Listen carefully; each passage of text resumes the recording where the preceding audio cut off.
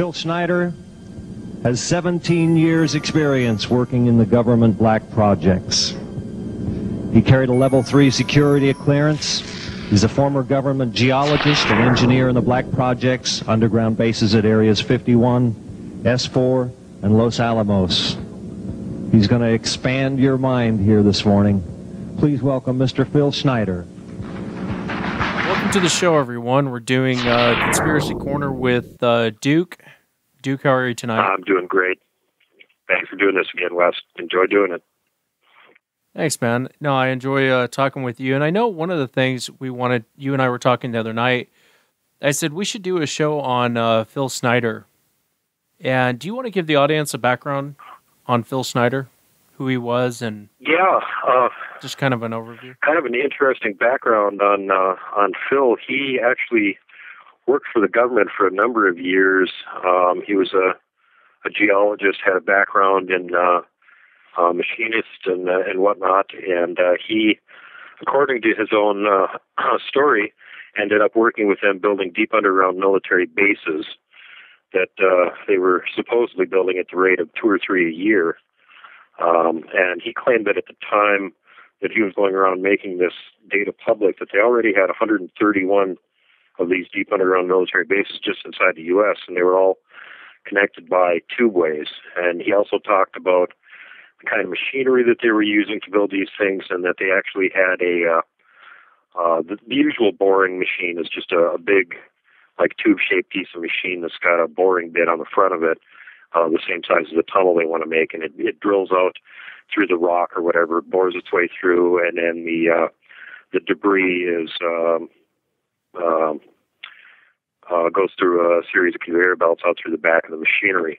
The newer one that they were using when he was still working on it, and this was quite a while ago, back in the, the 70s, apparently they had a nuclear powered version of it that had a tip on it rather than a, a bit, and the tip would heat up to about 1500 degrees and it would basically melt or deflagrate through the uh, rock, and then the machine pushing through it would push the uh, slag into like cracks in the rock and sort of form uh, a casement uh, right of the vitrified rock right around the machine itself as it continued to crawl forward. So you didn't have to uh, put any kind of truss work or anything to hold the tunnel up. It was basically held up by the uh, the melted rock that the machine displaced as it was crawling through it. And um, Phil ended up getting away from this whole situation because he was working, uh, according to him again, for uh, NATO building all of these things. And he found out um, he got a couple of uh, invites to go to secret UN meetings that were being held, and uh, they weren't at the United Nations uh, headquarters, but at some other location. And he claimed that they had a series of chairs that were set up on a higher level, and after all of the normal people were in the room, that uh, out came marching the people that were going to sit up these chairs at the higher level, and that they were like seven foot tall gray aliens um, which is where the whole whole story kind of takes a real hard left turn and gets really kind of strange. But uh, he went around between 1995 and 96 and did like 30 different uh, public uh, meetings on this, where he was one of the speakers or the only speaker, and talked about this whole situation. It was his contention that uh, the governments of the world have a um, a working relationship with these aliens and that they're working toward a long a long term goal of establishing one world order and that the aliens want to be the ones pulling the strings. And uh, reputedly or reportedly, this is why he was uh, eventually assassinated after he claimed that they tried to kill him 13 times um, before it looks like they finally got him because the whole thing on his death is just so weird and contradictory it just doesn't make any sense. So um, yeah, uh, you know, he was just one of these guys that supposedly did all of this sort of uh, black ops work for the government, and then decided that what they were doing was completely out of line. He was working for the bad guys, and uh, and decided that he would try and make amends for it by actually getting some of this information out. I'm Phil Schneider. Uh, I spent 17 years in black budget programs. Um, government geologist, as engineer, structural engineer with aerospace applications. uh, self-taught metallurgist, became uh, uh, kind of famous in my own right. Um, I basically uh, would have a set of notes here, but they're unavailable in all this melee.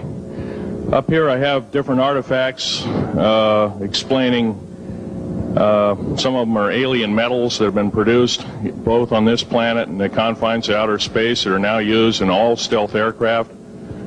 All stealth aircraft, for instance, all black jets, uh, what you're seeing of, of, black helicopters and the like, uh, the skins and the coatings and the residues that are used predominantly in the in the aircraft themselves, in the airframes and the in the rotor blades and the fans and in some cases in submarines, uh, special titanium hulls, the Phoenix class submarines now.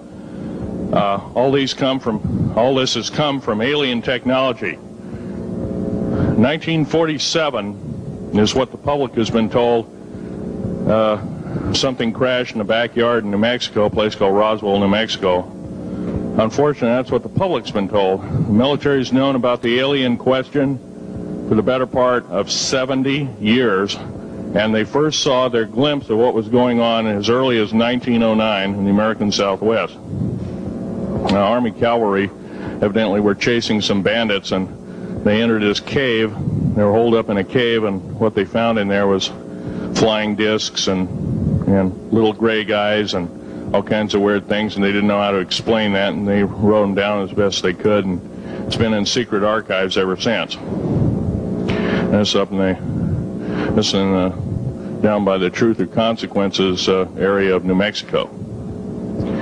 Well, the alien thing is more than just a what I'd call a non-visible threat. We on the surface, first of all, all information dealing with alien or alien reproduced technology or alien reproduced vehicles or any other kinds of things well hidden from the American public. Our black budget, for instance, garners 1.023 trillion dollars every two years. It's over 500 billion dollars a year. Right now, there are 131 active deep underground military bases in the United States. There's 1,477 of them worldwide. Each one has an average cost of 17 to 19 billion dollars. Each one is uh, built in the site. Uh, oh, it used to be it'd take a year to two years to build each one, and now they're capable of building a couple of them a year uh, with sophisticated methods.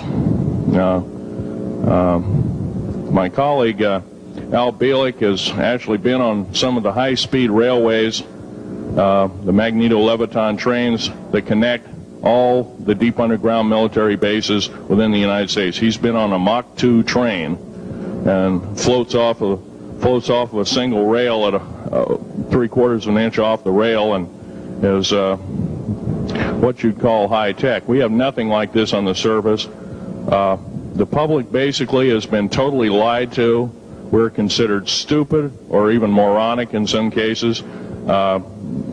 It's got to stop. If, if we're going to gain our country back, we must, and I repeat, must regain, we must instill in our public officials, anybody that goes and does public service, they must tell us the truth. If they cannot do this, then, then they must be impeached or they must, must be removed from office. If this cannot occur, if, if the truth cannot totally come out, the, the, There are reasons for secrecy, for instance, but if the truth cannot totally come out, uh, what's the use in us having anything called freedom? Okay, now I have pictures here that I'm going to show you during the break in artifacts, and I ask you to kind of look at them but not handle them. I have actual crashed retriever metal from Roswell, New Mexico. It's given to me when I was 14 years old. For instance, I've got other things. I've got pieces pieces of titanium. This piece of titanium, a special titanium alloy, made for everything from the original SR-71 Blackbird. That's old hat now. Uh, F-117A is their old hat now. Uh, they're making a whole new class of hypersonic above Mach 5 aircraft that employ they employ extremely modern charged particle beam weapons. They don't even use lasers anymore. Uh, computer enhanced imaging radar, although it's used in helicopters for public surveillance, computer enhanced imaging radar, and in satellite technology.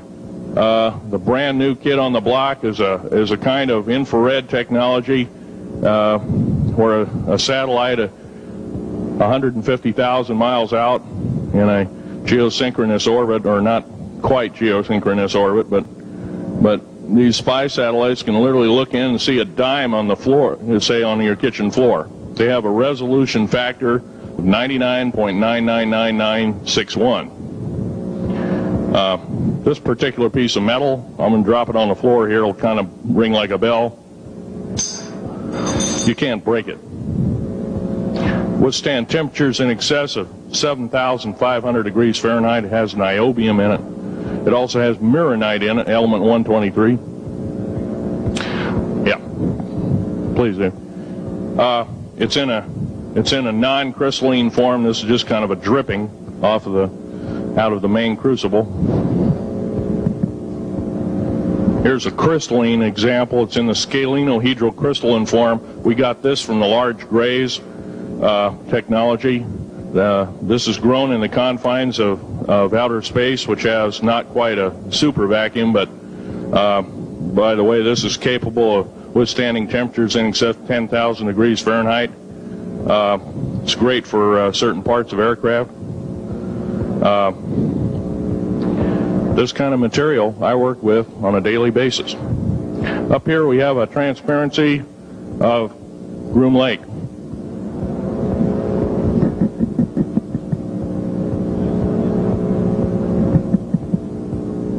Groom Lake is where the infamous Area 51, S4, S2, a CIA base, uh, uh, it was originally a bombing range, a nuclear test site. Uh, it was later become the most secret base in the United States. Um, it employs over 18,000 workers who work in shifts of 12 hours a, at a whack. Most of them work in the cover of darkness, like us. We built out nine underground military bases there, each with an average uh, uh, capacity capable of uh, basically a city underground, roughly four and a quarter cubic miles hollowed out underground. They have boring machines, for instance. Have boring machines, for instance. They don't bore, they literally vitrify and melt the rock, deflagrate the rock. It's a very sophisticated laser. Uh, uh, melting and deflagrating system. It reduces the rock to a powder and then melts the, the remaining rock as a coating on the inside of the base so you don't have to use gunite cements and other kinds of things like that. That's old, uh, all old hat now. Uh, technology is just basically the new technology we get is the old hat of the military. I'm going to be real brief about it. I carried a level one security clearance, the Rhyolite 38 factor. There are very few of us there's nobody except myself, to my knowledge, talking like this. nobody. I'm breaking the law. I'm breaking world as well as federal law. Coming out and even talking about this to a group of people. I love my country more than I love my life. Two weeks ago, I was shot in the shoulder.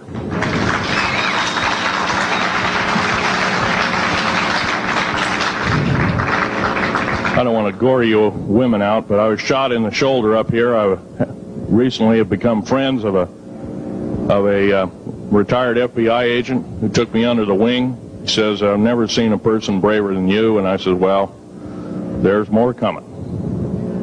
Our patriot movement in these United States is going to pick up the ball, and we are going to kick the parasites He has a very out. impeccable military record. and when you hear him speak, and I'll and I'll play clips of him throughout the our show here, but when you hear him speak, he's very no nonsense on on what he's telling you, and the part that bothers me about the Phil Snyder thing is I've heard that from several people. In fact, I had one military insider. He he called them the Dracos, and I said, "What is the Dracos?" And he said the Dracos is a reptilian alien, uh, and and they keep pointing towards this Dulce. I know you and I talked about it on the last show, yeah. this Dulce, New Mexico. And I've been told several times to go check out Dulce, New Mexico. There's more than just um, alien stuff going on. When the locals tell you they saw a half man, half something running around out there, maybe stop and listen to what they have to say. And this is people in the military telling me this.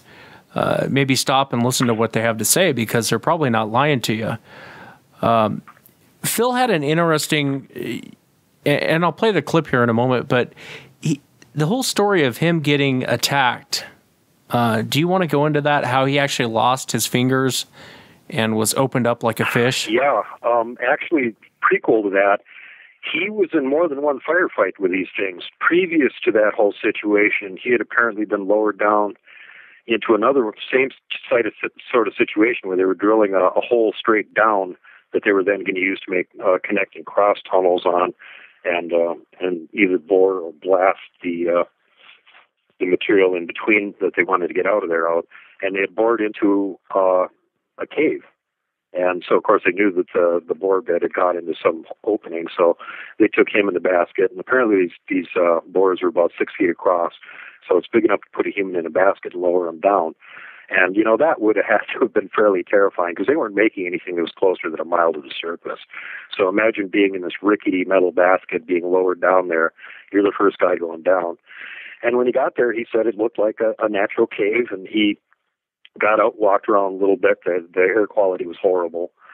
And uh, he had his flashlight going, and he saw something that he thought moved. He went around this little corner in the cave, and he was face to face with an alien uh, what he called an alien, again like a, a seven foot gray. And uh, he claims at that point that he pulled his pistol out and ventilated the thing and got the hell out of there. Um, now, later on, he was working, uh, getting back to, to Dulce again, the Archuleta Mesa. They had already built a military base in there, and they were planning on building a second one. And when they were digging the, the boreholes down into the second one, same thing happened. They, they came out into an open space and uh, backstory on the, the open space is that apparently the government knew all about it. It had been a base that had been constructed a long time previously, and humans and, and aliens were using it.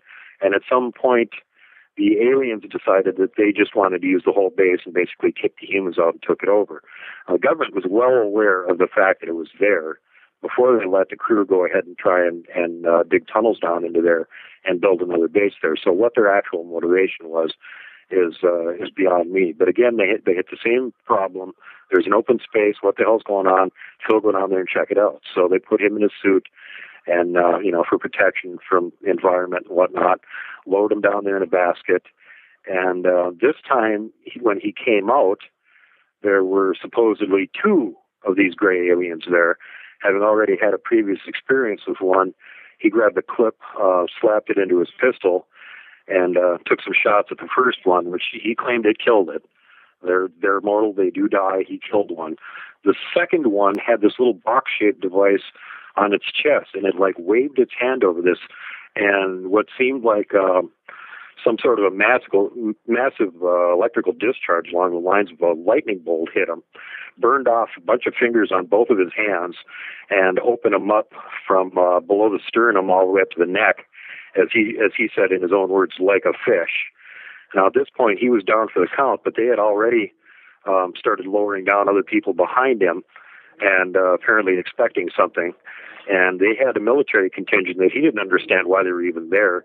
They had shown up a couple days previously, and uh, these guys came down the the, uh, the bore and, and had a huge firefight with these things during the course of which he claimed 66 people were killed, 44 of which were American service people, uh, uh, special forces, uh, black and green beret, and 22 foreigners also were killed in this firefight. And this was in 1979, and it set off what he claimed was basically a uh, sort of a secret war between us and the aliens that's been ongoing ever since. And uh, so at this point, he decided that people really needed to know about this. There, you know, uh, the situation was just really out of control. And he still wasn't willing to come forward and talk about it. It was actually his friend Al Bielek who kept bugging him over and over and over again to come forward and start getting some of this information out because he wasn't in the Navy anymore or anything. And he also had told Al that during the course of this going on that they had visited him a number of times and basically said, Why don't you come back to work with us? You shouldn't be talking about this. You've caused us a lot of trouble and knock it off. Uh, at which point he said no, and they apparently started trying to assassinate him. Now, at the point where he finally did die, he claimed that they had tried to kill him 13 times already. So um, it kind of makes you wonder what you know if his story is true what exactly they were thinking when the government just let him go ahead and and drill a hole in there. Maybe they were thinking they'd take the aliens by surprise and that's why they had the military there to go down and wipe out the remainder of them and they could take over this old base again. But you know there's just no way to know. In working with the black projects i was very loyal. I was picked because i was very strong mentally. There's a bunch of us that were picked because we don't crack under pressure. We don't freak under pressure, so to speak. Everyday events don't bother us. Now, I was involved in something very controversial, almost totally unbelievable to most of you. Some of you are religious people. I think all religions, all religions have a time and a place and they definitely have a place in America. Now, another thing I want to reach to you is that during the unbelievable part, I was involved in building another base onto in inside of Dulce, New Mexico, which is Los Alamos Laboratory. It's a biological laboratory. On the southwest part of the Archuleta Mesa, uh, we built an underground facility, a better part of three cubic miles hollowed out underground. Then to the southwest of that, we built, we were, we were in the process of the early stages of building. We drilled four large uh, tunnel-like holes. Some of them ran two and a half miles under the surface. Uh, number the early, at that time, number of the original uh, uh, wells or dr- uh, drilling uh, machines that were used were were um, at the rate of up two miles a day. It was fairly rapid. The equipment kept coming up broken, so we wanted to go down. We wanted to send somebody down there, a human observer or human observers in this case, to find out what was going on. Well, to our total surprise, first of all, the government knew all about it. They didn't tell anybody. Uh, when I saw Green Beret and Black Beret people encamped inside of our geologist camp, I knew something was up. The gig was up. First of all, I knew all about the alien agenda. I'll explain that in a few minutes. The large alien grays had been encamped there for as best as believed possible about four or five hundred years. Had been one of their internal bases. And we we drilled holes right on top of it all the stinking air, all the black sooty air came right out as soon as one the first hole was sunk, and all this soot came up, and well, that's when it all all the hell broke loose. Really, all started. Anyway, after we drilled all four holes, it took about a, two days to drill all four of them. And when you build a underground base, you drill four basic holes, and then you build you, called stopes or cross member holes across, and then you bla- use blasting equipment, you know, special blasting equipment by the analyzation of the rock formation, and you literally blast out or tunnel out or, or deflagrate or melt rock out to build the large rooms that are required for this underground base. Well, in this process, I was lowered down the basket of one of these holes, and about from me to this elderly woman here in the front was sitting a seven foot tall alien gray. The stench was worse than the worst garbage can you can imagine. Uh, the person was, at, or the entity was absolutely horrible. I didn't waste any time. I reached for my pistol. At that time, as an engineer, I didn't have time to carry all the Folderol of one of these big submachine guns that all the sea spray and the yellow fruit and the, all the uh, outer perimeter and inner perimeter security people carried. I carried a little Walther PPK pistol with a nine-shot clip.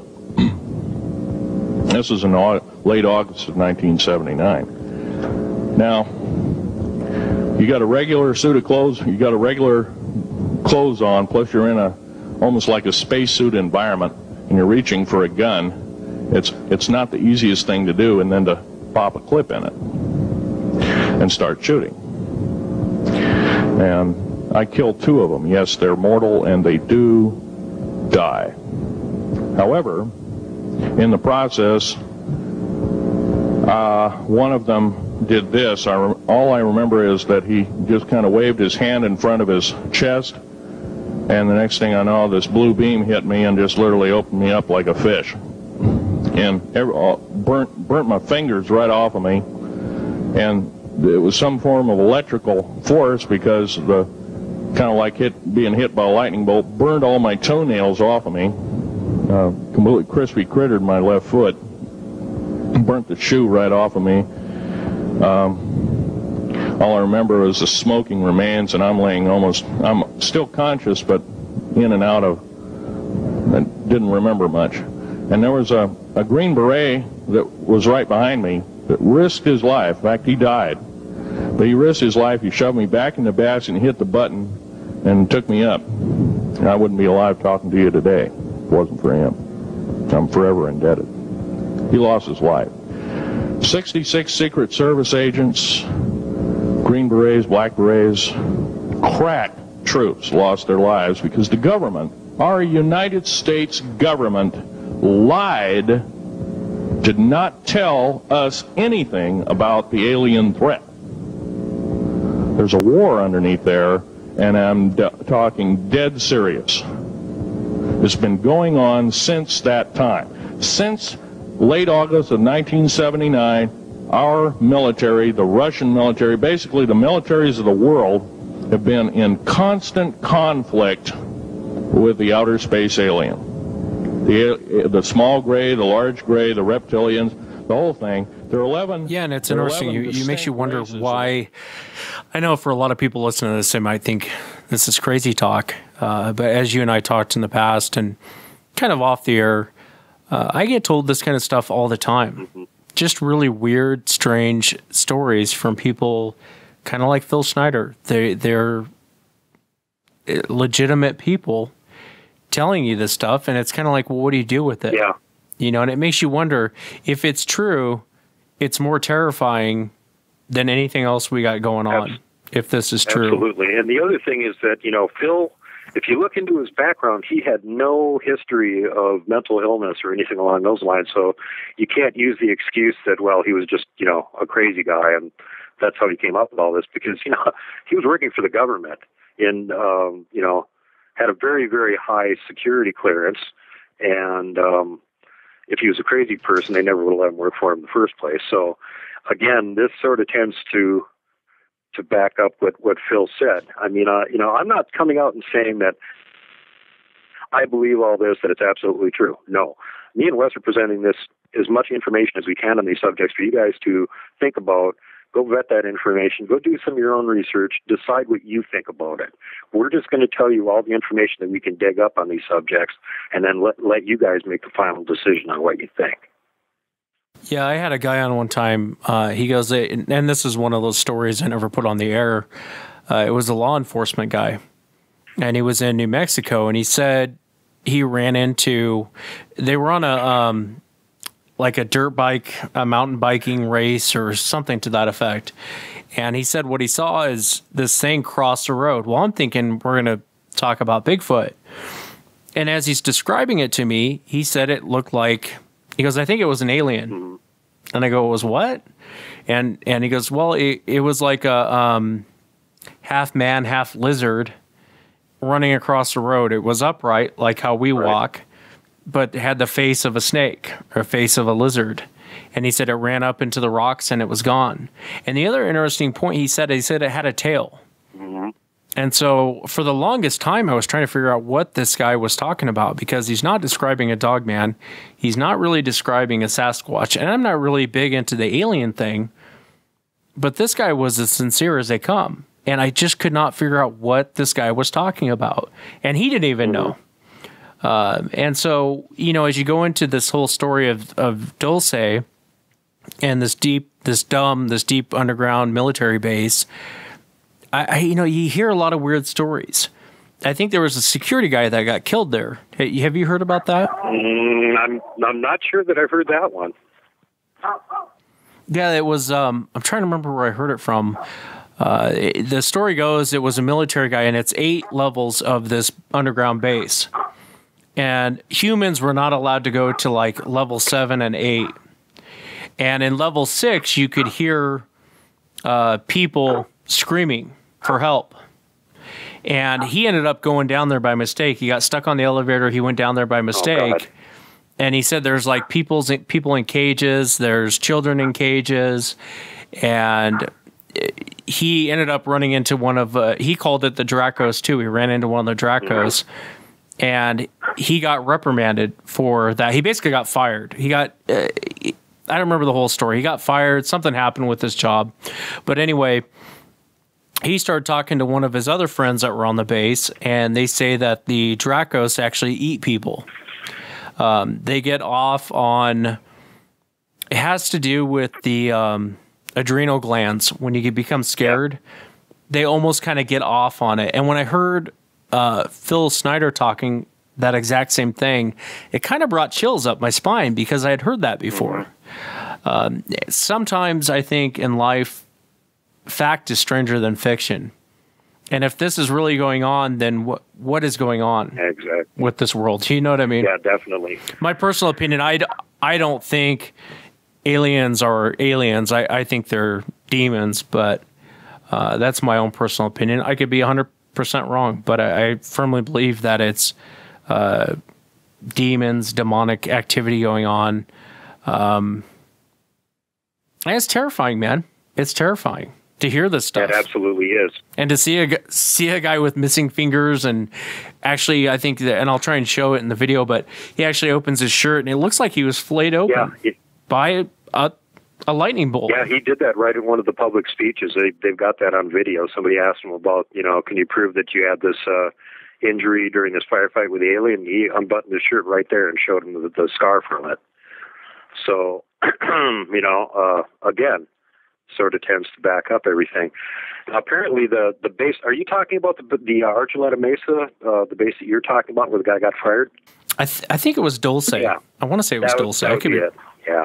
Um, Yeah. Supposedly that there's uh there's the tall gray aliens and there's the reptoids are the two types that are at this base from what I've been able to understand. I might be wrong. There could be more. Uh, but um, from what I've heard about the uh, the Greys, yes, they do like to predate on humans, and they actually make a sort of a drug out of their adrenal gland that they call adrenochrome that they get high on, and uh, which goes right along the lines with the same thing with the uh, the reptilians who like to have the uh, humans that they're going to eat eat um, be extremely terrified before they eat them because apparently they like the, the taste of the meat um, better that way. And I can state from from personal experience that I've had meat from a slaughterhouse where they were not very careful about not terrorizing the animals before they delivered the death blow to them, and you could tell the difference. You could taste the difference in the meat. So that's a no BS right there. I can personally bet that there is a difference in the way the meat tastes, and uh, you know whether these things get high off it or whatever.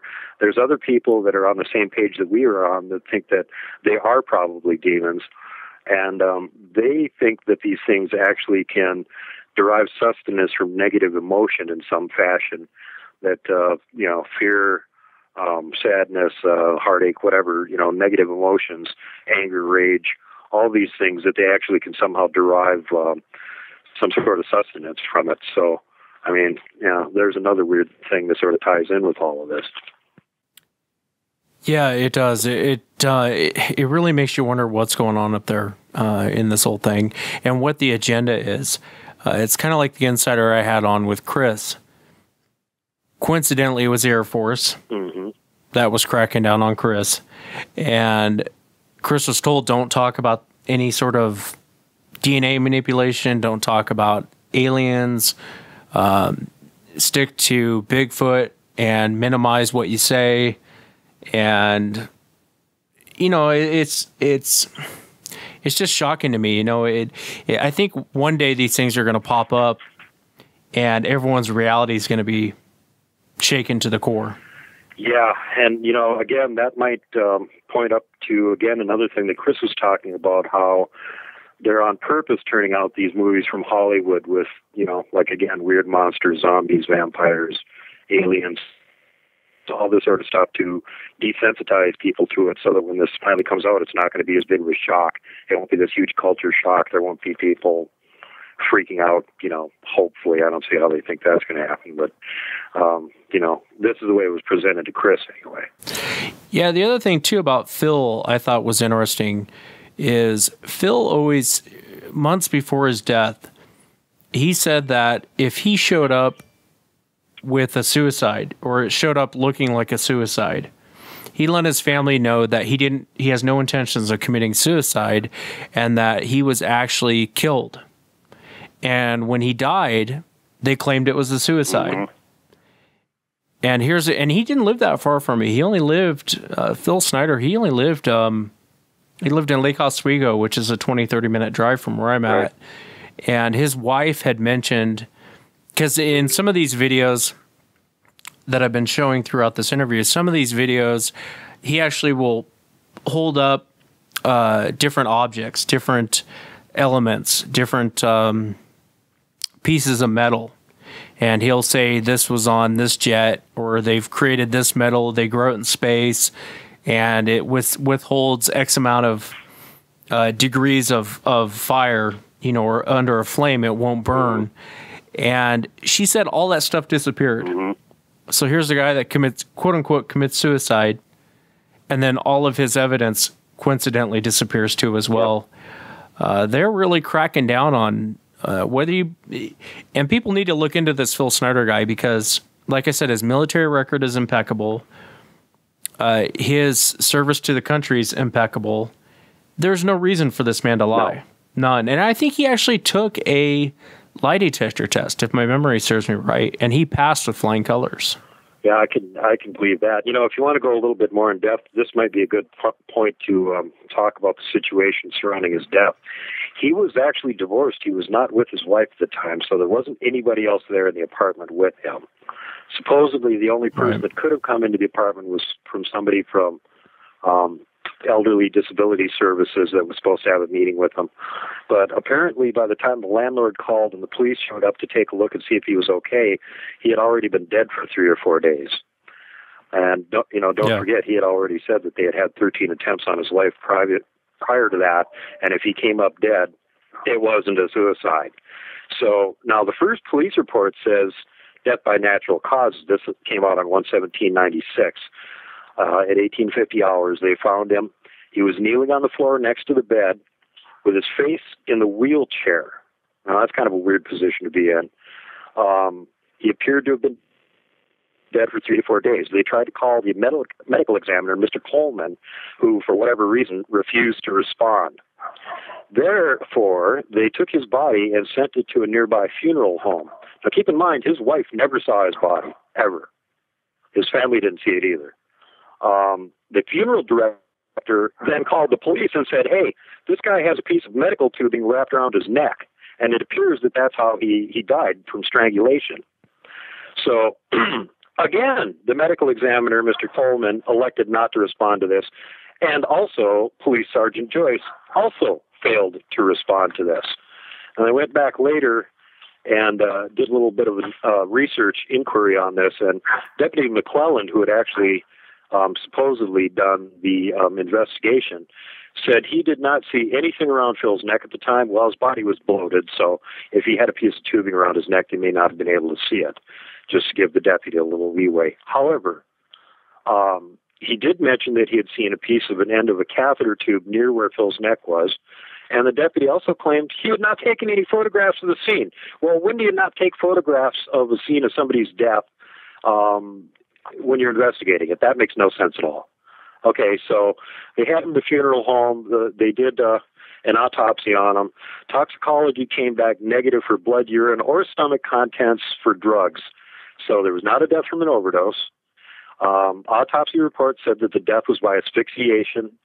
And there's a section of the autopsy report even where it says quote, neck wounds described below. But if you go and look below on the document, there is no description. There's no further entries or description on that document that explains what it was all about. And then later on in the report, it says there was no, no neck wounds and no sign of a struggle. Okay? So Phil's blood and other samples that they had taken then were placed on a three month hold. After three months elapsed, there were requests to get that material, and they said, well, now it's on a one year hold. So hoping that people would forget or something. Well, after a year, they came back and requested it again when the year was up. And uh, the answer they got this time was that the samples had been lost. Now, finally, an mm. obituary on Phil was released to the paper. It was not posted by his family, and it claimed he died of natural causes, even though the official cause of death is, as it currently stands, death by suicide. Yeah. So it makes you wonder if this guy's full of crap and he's lying about everything. A, how does he pass the lie detector test? All the stuff around this story, whether people believe this story or not, and I tend to believe that this story actually happened. Mm-hmm because I don't see any reason why he would make this up. Mm-hmm. And it's there's way too much for him to lose. You know, he can lose his military retirement, he can lose his disability. He had way too much to lose over Absolutely. this yeah. to come out with this fantastic story. Yeah. You know what I mean? Yeah, and his retirement at that point was five hundred thousand a year. I mean, this guy's getting a half a million dollars a year. Uh, you know. That uh, that would be a lot of money to lose just because you want to go out and tell some crazy story. That makes no sense. Yeah, it makes no sense. And then the other interesting part is around his death. Again, whether people believe the story or not. And again, I wasn't there, but I tend to believe this man what he's saying. Uh, how he died is is odd, just odd. Very strange. And he, you know, leading up leading up to his death, he's saying, "Hey, listen, if I wind up and they say it's suicide, I let you know, please know I didn't commit suicide. They've been trying to kill me." I think in one of the videos and I'll play it for the audience. But in one of the videos, he said he was actually shot in the shoulder, mm-hmm. and he pulled his shirt shirt down, and there's actually a bullet wound in his shoulder. And so I think they were trying to shut this guy up. I think he was saying way too much, and it makes you makes you wonder. It makes it more terrifying to to think what is the agenda behind this? Mm-hmm. Yeah, and what's you know what's their reason for being in such a big rush to make sure that he shuts the hell up and and quit spreading this information around? If it's false, why bother? You know. Oh, right. Good disinformation. Who cares? You know, it's a great story. Uh, they don't give a shit about people telling lies. They only care when you're telling some real secret that they don't want getting out. And the other thing that, that's interesting here is that he was fairly close to Al Bielek and had talked to Al a lot you know, behind the scenes, and mentioned that he had a whole lot of really interesting paperwork at his apartment. Well, after he died and they spirited his body away, and uh, next of kin and whatnot came over to collect his effects, there was no paperwork there. That was all gone. Yeah, and that's what I mean. You know, if this guy, if this guy's story is so crazy, and you, then why why go after him? You know, it's such a crazy story. If you didn't have all this other stuff around this story and he just told this wild, crazy story of this gunfight he had with aliens, people, I think most of the general public would look at it and go, this guy's insane. Yeah, absolutely. Uh, but when you start looking at the details around the story, take the whole alien story out for a moment. Just listen to the details around what's going on with this guy. It makes his story more believable to me, anyway. Yeah, it does to me too. Again, you know, the the uh, the military will not, um, or the government, they won't silence people that are just telling fairy stories. They don't care. The only time that they're interested in getting rid of somebody is when they're telling actual, real secrets that they don't want vetted. And uh, you know, apparently, if you believe what uh, what Phil was saying, that uh, it appears to have been what happened in this situation. Okay. They Back in 1954, I'll give you a quick overview. There was the created 1954 treaty where Eisenhower signed a pact with the known alien species of the time. There were three at the time. And said that we're going to deal in high technology, but you can take a few head of cattle and a few human beings and you can experiment on them. It's unthinkable. It's stuff straight out of the Nazi death camps.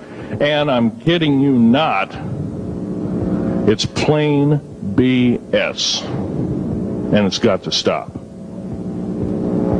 Now, the agreed in 1954 treaty would have been violated after after the great firefight, the alien human war, I am the only living survivor talking about it worldwide at all.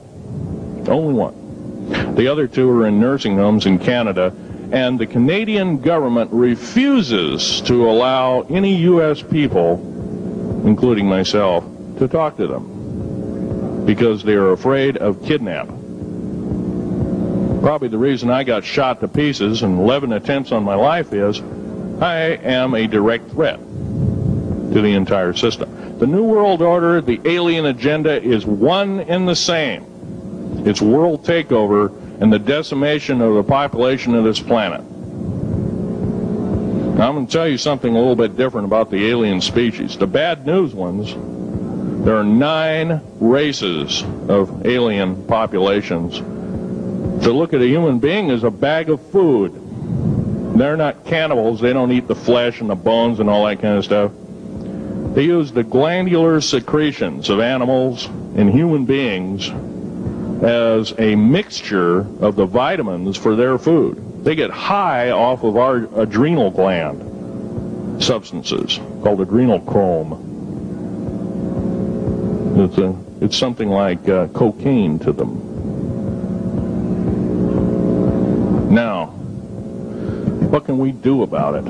We right now, if we do nothing, we can do nothing about it, and it'll continue to go on basically will be led in the dark, and you'll keep seeing more and more people disappear. Right now, there's 100,000 children totally unaccountable through FBI archives, cannot be traced anywhere. They haven't been murdered. Nobody's ever seen them. I think they're hauled underneath in some of these bases, and they are summarily done away with, and they are literally eaten. Now, that is a scary thing indeed. Some, and I'm not asking you to believe me in total. I am asking you to seriously do enough homework that you can go out in through the public record, through the congressional records, find out who's voting for what, and go from there. Do your own program, do your own agenda, and do your own speaking out. And if enough of us do this, there is some saving grace. However, we don't have a whole heap of time left.